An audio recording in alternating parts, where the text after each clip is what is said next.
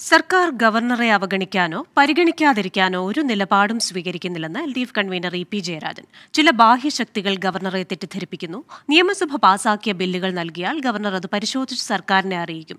ജനകീയ പ്രശ്നങ്ങൾക്ക് പരിഹാരം കാണാൻ ഗവർണർ സർക്കാരുമായി സഹകരിച്ച് പ്രവർത്തിക്കണം.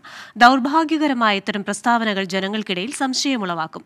നല്ല അന്തരീക്ഷം സൃഷ്ടിക്കാൻ ഗവർണർ ശ്രദ്ധിക്കണമെന്നും ഇ പി ജയരാജൻ പറഞ്ഞു. ഗവൺമെന്റ് ഏതെങ്കിലും തരത്തിൽ ഗവർണറെ അവഗണിക്കാനോ പരിഗണിക്കാതിരിക്കുകയോ ചെയ്യുന്ന ഒരു നിലപാടും ഇന്ന് വരെ സ്വീകരിച്ചിട്ടില്ല.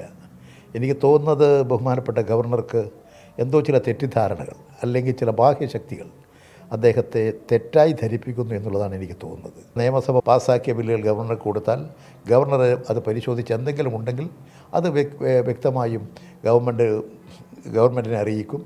ഇവിടുത്തെ ജനങ്ങൾ അനുഭവിക്കുന്ന പ്രശ്നങ്ങൾക്ക് പരിഹാരം കാണാൻ ഗവൺമെന്റുമായി സഹകരിച്ചുകൊണ്ട് ഗവൺമെന്റിന് വേണ്ടത്ത വേണ്ട സഹായങ്ങൾ നൽകിക്കൊണ്ട് പ്രോത്സാഹിപ്പിക്കുകയാണ് ഗവർണർ ചെയ്യേണ്ടത്.